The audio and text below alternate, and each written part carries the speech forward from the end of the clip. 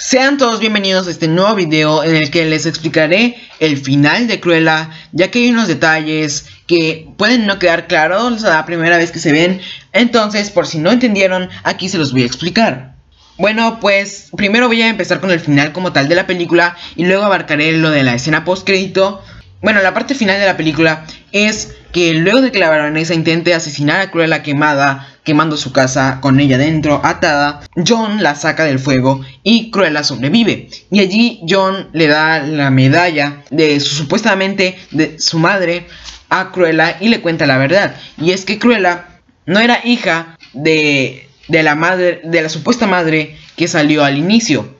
Es decir, de que ella era su madre adoptiva y su verdadera madre era la baronesa. La baronesa tuvo un hijo con el varón, pero ella no quería que eso se hiciera público, ni tampoco quería tener una hija. Entonces, cuando nació y el varón estaba de viaje, le encargó a John de que asesinara a la niña. Pero John se apiadó de ella y le encargó a una de las trabajadoras de la baronesa, que era la madre adoptiva de Cruella, que se encargara de ella. Y la baronesa creyó de que Cruella estaba muerta hasta el día en que regresó su madre para pedirle dinero y la baronesa llamó a sus perros para que la tiren del acantilado y bueno, todo lo que vimos en la película. El varón, antes de enterarse de que su hija había muerto, dejó un testamento em, heredándole todas sus propiedades, todos sus carros y todas sus mansiones, en general todas sus riquezas, a su hija Cruella. Entonces ya con esta información, Cruella pensó e ideó un plan, pero antes de llevarlo a cabo, fue a los lugares donde se hacen los trámites y como Estela le cedió todas sus riquezas, todas las propiedades que por ser hija del varón le pertenecían a Cruella, a su otra identidad, es decir, se los pasó a ella misma y ya luego llevó a cabo su plan, que era, eh, vestida de Estela, hacer que la baronesa repita la acción que hizo con su madre, es decir, tirarla por el acantilado. Y bueno, eso pasa, la baronesa finalmente la tira por el acantilado, al igual que su madre, pero antes de que eso suceda, Horacio, Gaspar y Artie habían reunido a la gente que estaba invitada a esa ceremonia, había llegado la policía y los trabajadores de Cruella habían salido del armario en el que estaban capturados todos se habían dirigido hacia la terraza, que era donde todo estaba pasando, y ellos pudieron observar a la baronesa cometer este acto. Entonces, la baronesa fue llevada a prisión, mientras que Cruella al saltar llevaba puesto un paracaídas. Entonces al caer abrió su paracaídas, aterrizó en el agua y Horacio estaba que le esperaba con un bote. Se subió ese bote, volvió a la tierra, se puso su aspecto de, de Cruella y con el auto de Deville se dirigió a la mansión Hellman Hall y ya reclamó lo que le pertenecía a su mansión, pero ya no con el nombre de Estela, sino con el nombre de Cruella. Y ya finalmente Cruella se queda con las propiedades que le pertenecían al varón, a su padre, incluyendo a la mansión Hellman Hall, que le cambia el nombre de Hellman Hall por Hell Hall, el nombre que conocimos en 101 Dálmatas. Y bueno, ahora sí la escena postcrédito, que es algo muy confuso, y es de que, bueno, en la escena podemos ver de que Cruella le regala a Roger y Anita, bueno, por separado porque aún no se conocen, a Roger le regala a un perro dálmata que es Pongo y a Anita le regala a Perdita, los protagonistas de 101 Dálmatas. Bueno, para empezar, estos perros son perros jóvenes, bueno, no tan jóvenes, pero relativamente jóvenes.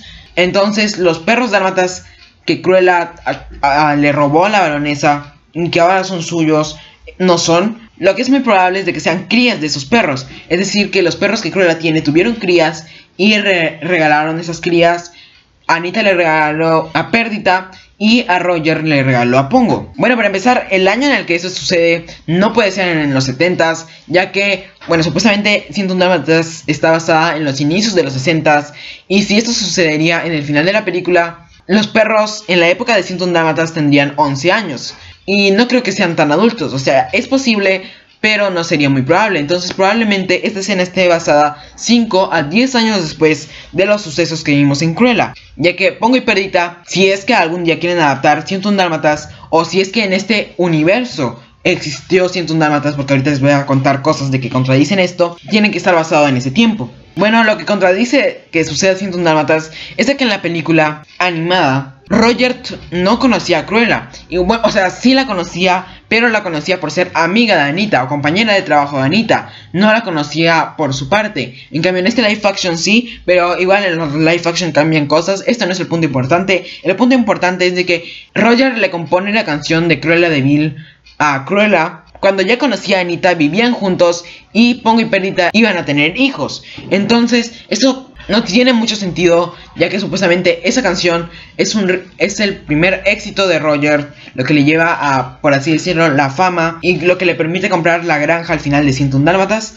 Pero esto lo hace junto a Anita, además no serían 101 Dálmatas, ya que si por A o B razones Anita y Roger se conocen, Pongo y Perdita se conocen, se casan y tienen hijos, solo van a ser 15. Y esos 15 dálmatas, bueno, más pongo y perita 17 dálmatas, no creo que Cruella los quiera, ya que ya no va a estar interesada en hacer un abrigo de pieles de con las pieles de dálmatas. Entonces, si por A o B Anita y, Roger se conocen, el resto de perros que no son hijos de Pongo y Perita no habrían nunca, nunca los habrían conocido. Y otra cosa que no tiene sentido es de que en 101 Dálmatas, Cruella lo que busca es secuestrar a los dálmatas para hacer sus pieles. Pero si Cruella siempre, porque ya hemos visto de que sí tenía intención de hacerlo, quizá no lo iba a hacer, pero que se le ocurrió la idea de hacer un abrigo con las pieles de los dálmatas en, en la película, pues si quería hacerlo quizá en un futuro o cuando ya crezca, ya que, pues como les dije, tiene que haber pasado años, ella, o mejor dicho, Horacio y Gaspar, ya que todos se los encargaba Horacio y Gaspar, hubiesen cuidado a las crías de esos dálmatas, ya que si los regalaba era te regalan los dálmatas para que cuando tengan hijos me los devuelvas y yo haga un abrigo. Mejor que ella o que Horacio Gaspar o alguien de confianza que sepa que les puede devolver, que les entreguen los perros. Pero en la película de Cruella, Cruella es quien se los regala a Anita y Perdita, entonces se contradice todo en lo que sucede en Ciento Dálmatas, además de que en la película Cruella dice de que nunca dañaría a un perro, cosa que puede cambiar si es que crece, pero la parte buena de Cruella es mucho más que en la película animada en la que no le importa lastimar a nadie, entonces sí hay contradicciones, en, sobre todo en esta escena post crédito, que hacen muy probable que no hagan un remake adaptando la historia de 101 Dálmatas. Aunque quién sabe, quizá sí lo hagan, pero con una historia completamente diferente, así como fue Cruella, si no sea la misma historia que la animada, pero tendría que ser muy diferente. ¿Y, y qué papel o por qué Cruella sería la villana? Si es que aparece, bueno, obviamente supongo que si hacen un remake debe aparecer, porque es el personaje favorito de la mayoría, por no decir de casi todos, o por lo menos el más recordado. Entonces, si Cruella no, no quiere a los dálmatas para hacer un abrigo, ¿Por qué Cruella sería la villana? Bueno, eso tendrá que Disney averiguarlo. Arruinó algunas cosas para hacer un remake en un tiempo futuro, pero sí dejó abierto para hacer una secuela de Cruella. Podrían inventarse una historia así como se la inventaron en esta película. La verdad no sé cómo la harían, pero sí dejaron como un espacio para hacer una secuela. Y bueno, eso es todo por esta canción. Los invito a que se suscriban, le den la campanita para que no se pierdan de los próximos videos en los que iremos hablando de Cruella. Pronto ya les daré mi opinión de esta película. Intentaré hacer más. Y si no, de otros contenidos, de otros temas relacionados a Disney. Entonces, si no quieren perderse de eso, suscríbanse. Y ojalá que este video haya sido de su agrado. Y nos vemos en el próximo.